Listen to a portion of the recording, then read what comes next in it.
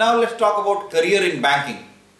Banking offers most attractive career in Indian scenario.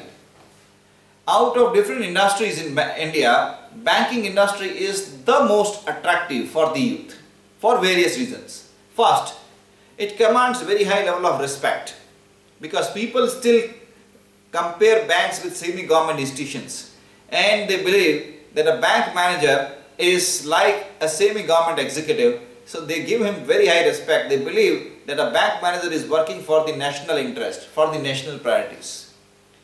Then packages. Banks today are offering very attractive packages and their pay packages are revised periodically and they also offer various services, offer attractive facilities to the employees. So in that way, the banking services are very attractive. Then uh, banking services offer a very systematic working. If you have worked as banker, your life becomes very very regulated, very systematic. Because being in banking industry where you have to deal with money, you have to be very highly systematic, very accurate and uh, very punctual and very methodic, uh, uh, very very systematic and this you know helps people in improving their life also. So banking career in banking helps you in developing your life. Then modern banking is very technology savvy very lucrative. And uh, we can uh, say it's very attractive. You see modern banks they are uh, they are having very beautiful offices, well furnished setup and uh, very well structured services. And they provide very customer oriented uh, services. And so people are appreciative of banks, they are satisfied with banks, they give you know uh, respect to the banking executives for the services that the bank officers provide. So in a way, banking is a very attractive sector for the youth. In banking sector, we have large number of openings also. Both in public sector and private sector, there is growth. And because of the growth, they are recruiting people to meet the growth. They are opening new branches and they are expanding the existing branches and therefore they require manpower. And there is another issue. The banking has changed considerably in last two decades. Earlier it was all manual and today it is all technology, computers based. So banks require technology savvy employees those employees who are comfortable working on computers, those employees who understand latest technologies and those employees who can adapt themselves with changing technology. So banks today require younger staff. Many public sector banks introduced VRS scheme, voluntary retirement scheme, so that they could do away with their old employees and they could hire fresh employees who are technology savvy so that the bank could introduce latest technologies. The bank could change themselves faster. And you can see this very clearly visible in many banks. Take for example UCO Bank.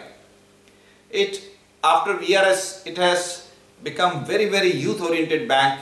It is now changing. It is now trying to evolve itself as very technology savvy modern bank. So you, if you are energetic, learning oriented, dynamic, technology savvy and you wish to continuously evolve yourself, develop yourself and you wish to enter into very glamorized sector of financial services, the banking is the first choice for you you can prepare for the banks and enter the banking services. And the recruitment in banks is comparatively very very objective. public sector banks organize a recruitment test which consists of a written test of English, quantitative aptitude like basic mathematics, reasoning, general awareness. So you have to attempt these questions, objective questions. If you are able to score very well, you can be selected. For uh, probationary officers, they will take their interview.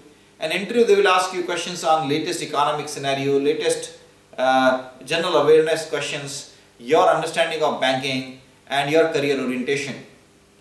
And through a very objective process, you can enter the banking sector. In private sector banks, you can apply online on their website and uh, submit your resume. And whenever they have a vacancy, they can call you up, they can take your interview, and if they find that you are really a very technology savvy person, you are customer oriented person, you are a very dynamic person, and you have an excellent image, you have very you have excellent soft skills, then you would be selected and they will pick you up. If you are an uh, MBA or uh, BBA or uh, a business graduate, you will be given preference because you will be able to match the requirements of banking industry faster. Banking is a very dynamic career and offers very lucrative opportunities for people. You can uh, very quickly rise in banking industry. You can get promotions if you are able to perform well and uh, if you are able to you know have good relations with your customers, if you are able to offer good services, prompt services, if you are able to manage your working well, then you can easily rise in banks. Public sector banks offer regular promotions and in private sector, they look into your performance. How much business you can generate. If you can generate more business, you can definitely rise faster. So, best wishes for a career in banking.